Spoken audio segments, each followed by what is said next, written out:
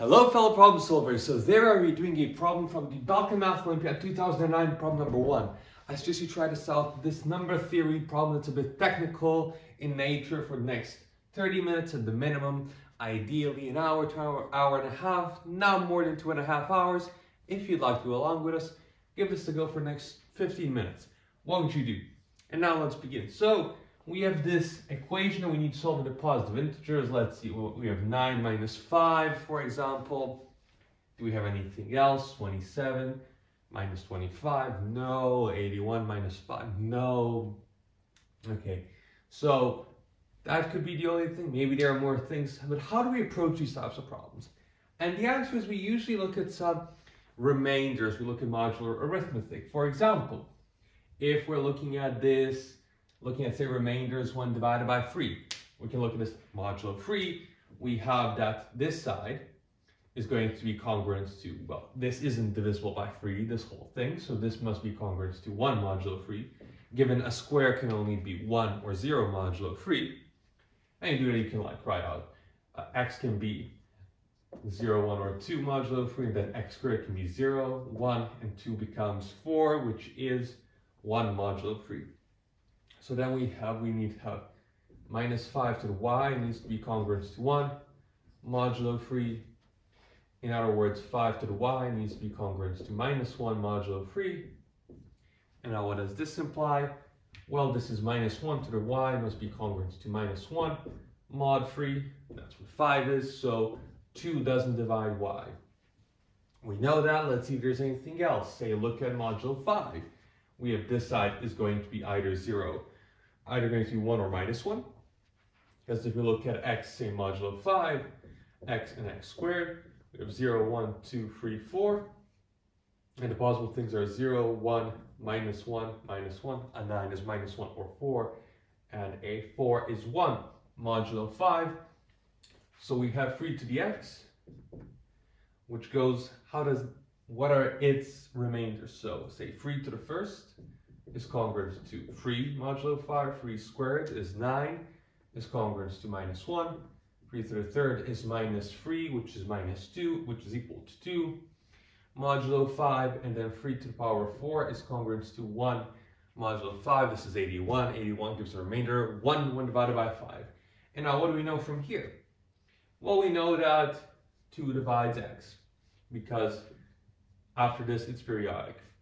3 to the 4k plus 1 is going to be congruent 3 to the 4th k times 3. This is congruent to 1 to the k modulo times 3 to the power times 3 modulo 5. And then this is congruent to 3 modulo 5. So this is periodic. You can prove it in this way. And now, what we are going to be doing is saying, okay, we have this and we have this. And what are you going to do now? Pause for five minutes, think about how, what are you going to do here? And the answer is, well, you have a square here. And if you can write stuff as a difference of squares, that's sort of a thing. You have squares in number theory. Let's look at if I can write things out as a difference of squares. It's a heuristic, a rule of thumb. You try it out. Sometimes it works, sometimes it doesn't. Sometimes you look at quadratic residues when you have squares. If you have a cube, you might be looking at that. Here we look at, say, now we have x is equal to 2a for some integer a.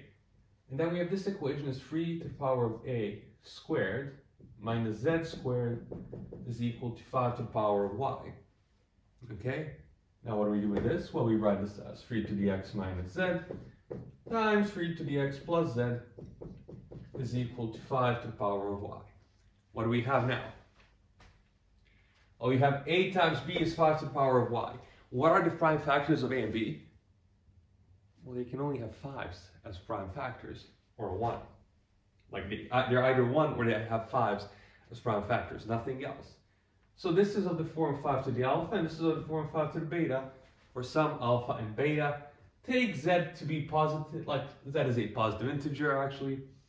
So we have this is less than this, right? Because z is a positive integer. In other words, alpha is less than beta. And alpha plus beta needs to be gamma.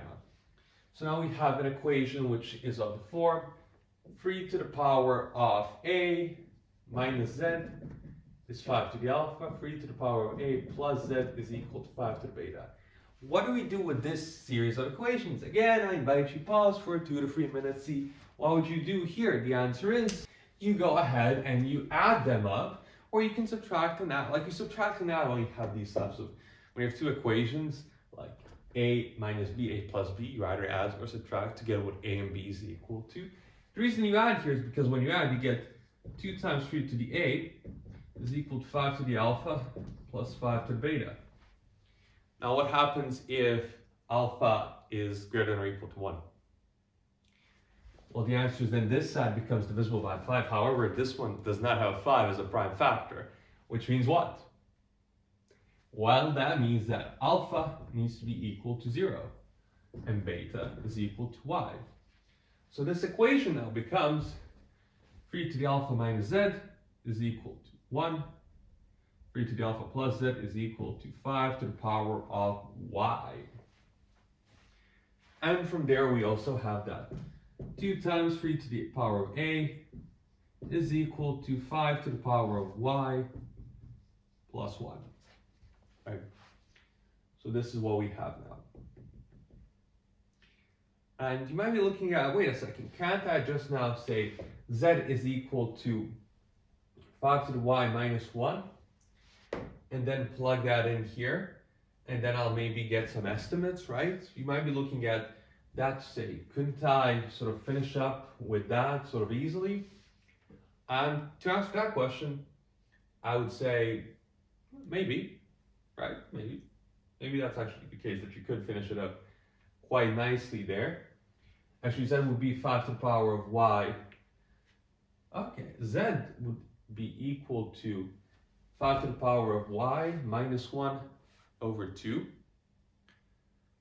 And then when you took the 5 to the y here in this equation, you would get 3 to the power of x is equal to 5 to the power of y plus 1 over 2 plus, plus 1, everything plus 1 over 2, and then squared.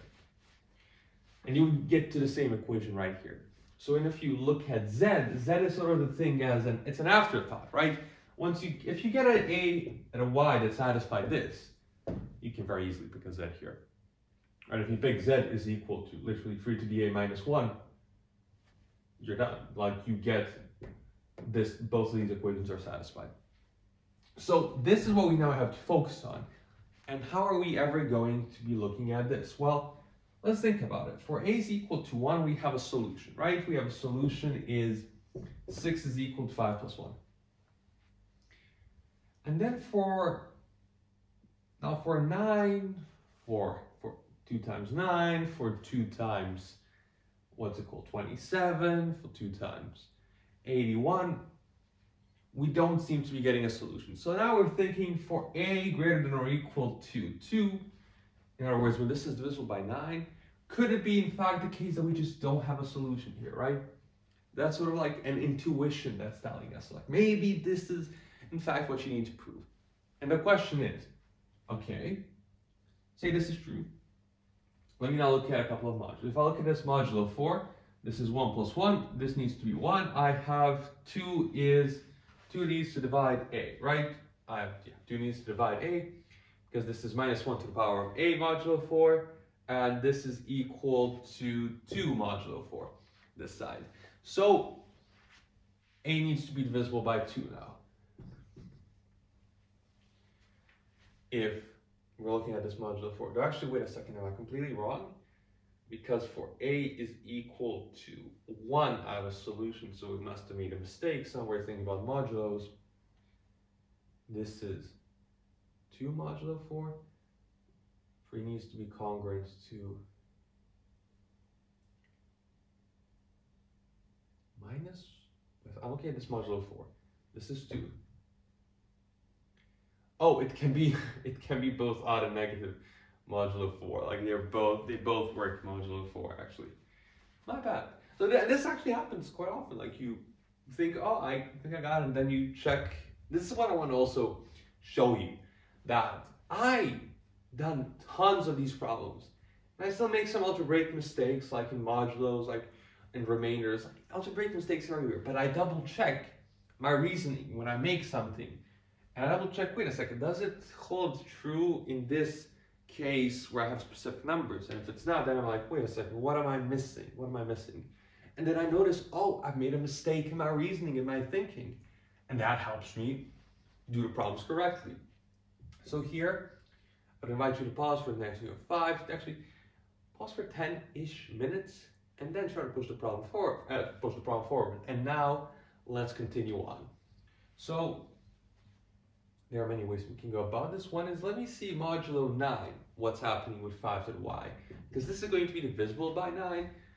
Let's see under what conditions is this divisible by 9. Now we know, say that 5 to the, I believe, sixth will be congruent to 1 modulo 9. And we can you know, check this out, look at every single one of the remainders. And 5 to the third, which is 125, is going to be congruent to minus 1 modulo 9, if I'm not mistaken. So we have 125, 126 is divisible by 9, so this is minus 1 modulo 9, which tells us here that y is of the form 60 plus 3 for some for some non-negative integer d, right? If, as long as this is divisible by 9. Now, a question is, if this is 60 plus 3, if, if we get from modulo 9 that this is 60 plus 3, can we prove then that this number, which is in one instance going to be 126, is going to have some other prime factor outside of 9? Or another way of going about this is to say, is there some way we can now further factor this? So those are like the two sorts of ways of thinking. One way of thinking is, let me see if there's another prime factor that pops up that has a period of 6 for 5 and such that then we'll have another prime factor here that we just don't have here. So let's look at 126 for that. When we divide this by 2, we get 63 uh, divided by 9 and I get a 7. Okay, so then let me look at the 7 always divide 5 to the power of 60 plus 3 plus 1, right? So now let's look at 5 modulo 7. This is how I'm coming up with a 7. I was also thinking in the back of my mind, what has a period of 6 for uh, a number, 5 to the y? I'm looking at, it has 6 plus 1 is a prime, a 7 is a prime, so I know that 5 to the 6th is congruent to 1 modulo uh, 7 as well. And then maybe 5 to the third is congruent to minus 1, right? That's the sort of thinking. And in fact, if we look at 5, say 5 to the third, 5 to the 0, squared, third, fourth, fifth, and sixth, and then we look at this modulo. And modulo 7, we get 5 to the 0 is 1, then 5 is, say, let's do minus 2, minus 2 or 5, it's the same thing. I'm, then 5 squared is going to be 25, 25 is congruent to 4, modulo 7? Yes, it also makes sense, the squared is going to be 4.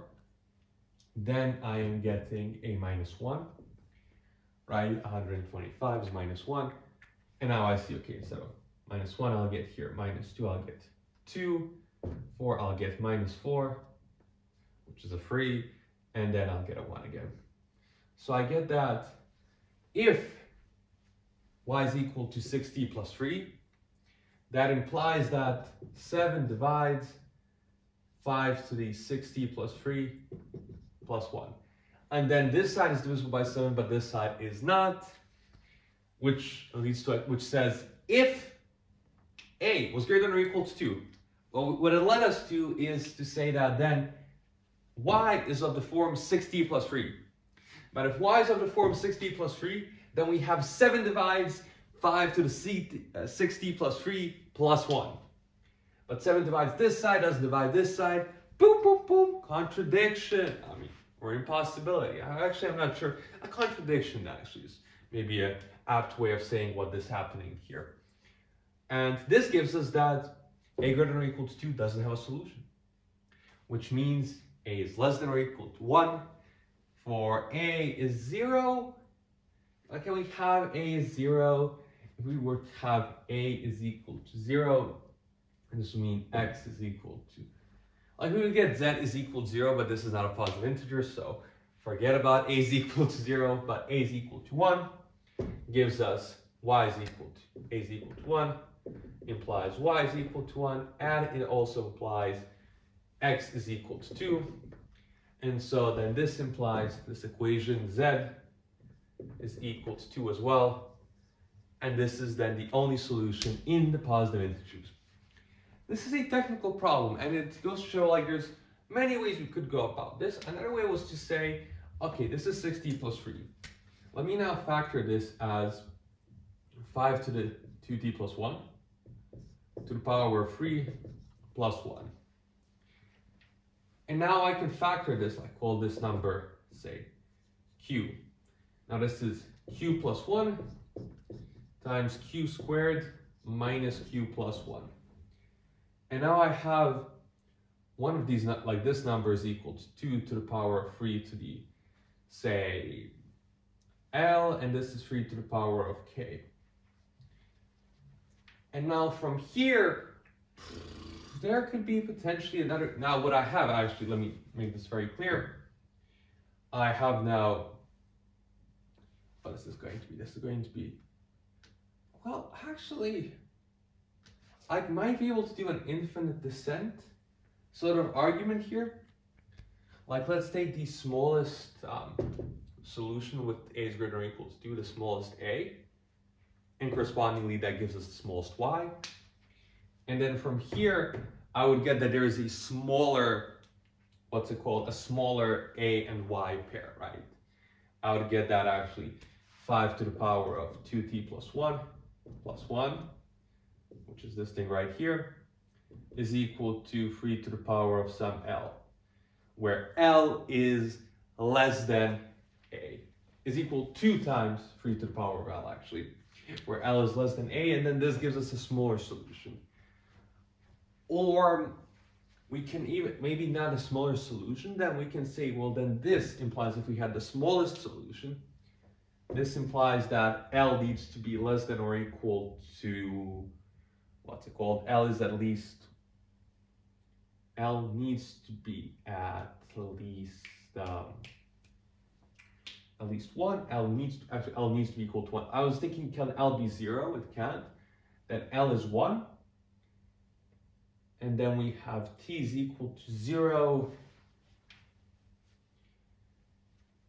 for our smallest solution, but then we get a contradiction that this actually does not end up working out. So we could even do sort of a infinite descent sort of thing. Or potentially even look at this as, then we have q squared minus q, and this is q times q minus 1, which I can plus 1, and this is equal to 3 to the k, and this is in fact equal to 2 by this thing right here is equal to 2 times 3 to the L minus 1 times 2 times 3 to the L minus 2 plus 1 and then this is equal to 3 to the K and now we have only powers of 3 on the board and then we can have some sort of bounding argument like where are there no threes?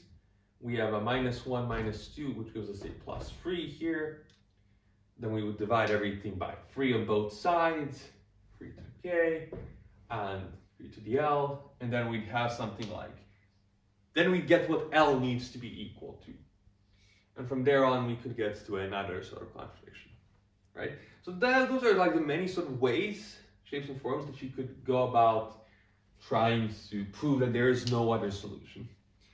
And this finishes up our technique, a nice little problem from the Balkan Math Olympiad of 2009. And as always, thanks for problem solving.